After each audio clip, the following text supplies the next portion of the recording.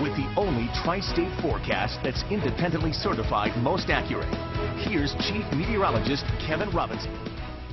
Today was a pretty interesting day because if you went outside, the actual air did not feel like it was the middle of summer. However, you could tell, though, on your skin from the sun angle that that sun's very intense this time of the year. So while it looked like July, it didn't feel like July outside at all this afternoon across the area. Now this evening, a few clouds beginning to stream in here. I'm not really anticipating much rain this evening. However, tomorrow, I think a better chance for scattered showers and storms across the area.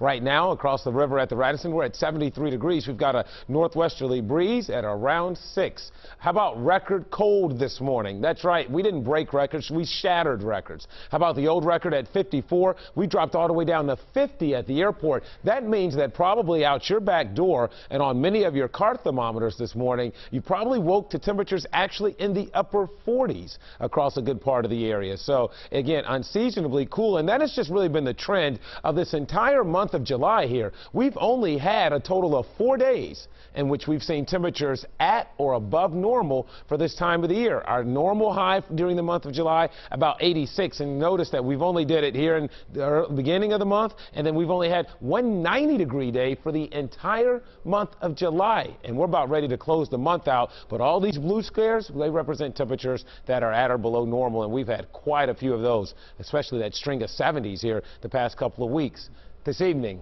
unseasonably cool. Let's call it a nice evening, though. Under partly cloudy skies, temperatures will sink from where they are now, around 70, back down into the 60s for many of us. Some clouds have developed across the area, and even some showers and storms across north central Indiana. However, as these are dropping south and east, I think they're going to run out of steam before they make it to the tri-state, because soon as the sun sets, this activity is going to fall apart.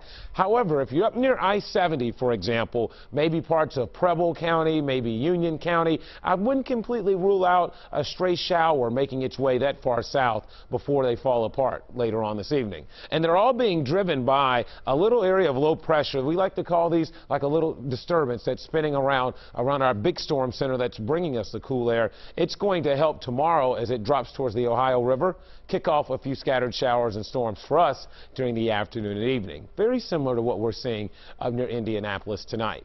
So 70 right now in Hamilton. That's it. 70 in Springboro. 70 in Wilmington as well. 71 in Peebles. Oh, it's 73 down there in Owenton. 74 right now in Batesville.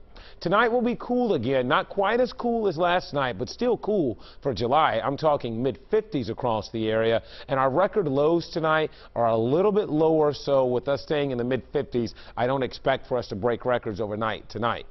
Tomorrow, should be a nice day temperature-wise. Most areas will climb just shy of 80 degrees. Maybe the farther south in the bluegrass, better chances of getting 80 over towards Brooksville. Let me show you Futurecast, and you'll see what happens. There's this evening's activity. It does make a run for southeast Indiana, but then it falls apart.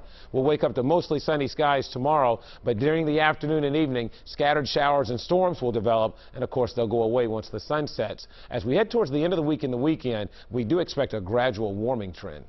56 for a low tonight with just a few clouds. And then tomorrow, expect partly cloudy skies, pop-up storms. Look for a high of around 79. Here's your day planner. Starting out the day around 60, climbing up to about 74 by the lunch hour. And here's your seven-day forecast.